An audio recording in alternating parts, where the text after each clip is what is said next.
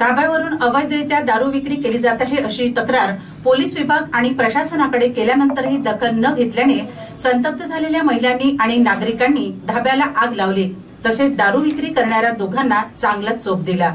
वणी येथील मंदर शिवारातील निलगरी वनासमोर असलेल्या एका धाब्यातून अवैध दारू विक्री केली जात आहे याकरिता येथील महिलांनी तक्रार केली होती.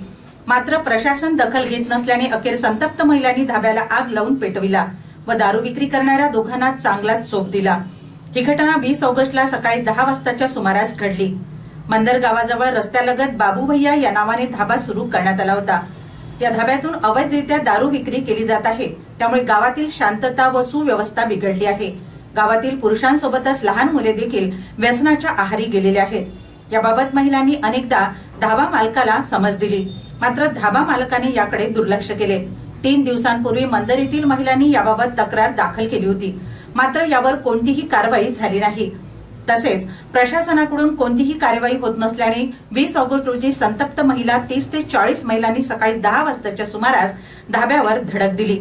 त्यांनी धाब्याची तपासणी करून लपवून ठेवलेल्या दारू पाणी कोल्ड्रिंकच्या बॉटल्स बाहेर काढून रस्त्यावर ठेवल्या.